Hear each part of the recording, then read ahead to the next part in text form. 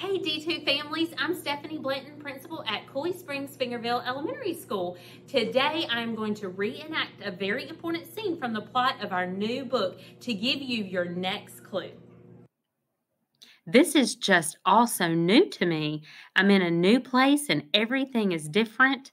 When I was homeschooled, I never had to go through a lunch line or get a lunch tray.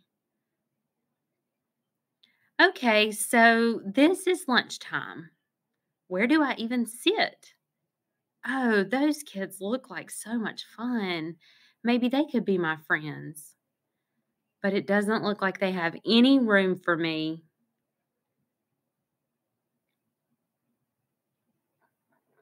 Is this what school is going to be like every day? This is not at all the way that I thought things would go. I had been looking forward to starting school and making new friends, but it seems like everyone already has friends.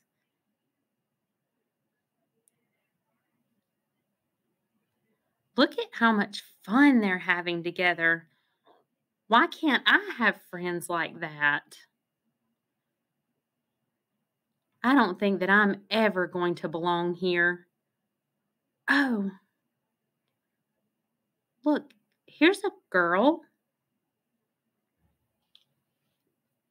She just asked me to sit with her.